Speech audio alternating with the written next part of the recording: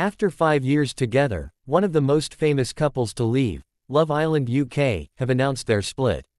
Molly-Mae Hague and Tommy Fury, who met during season 5 of Love Island UK, announced in separate statements on social media Wednesday that they are no longer in a relationship.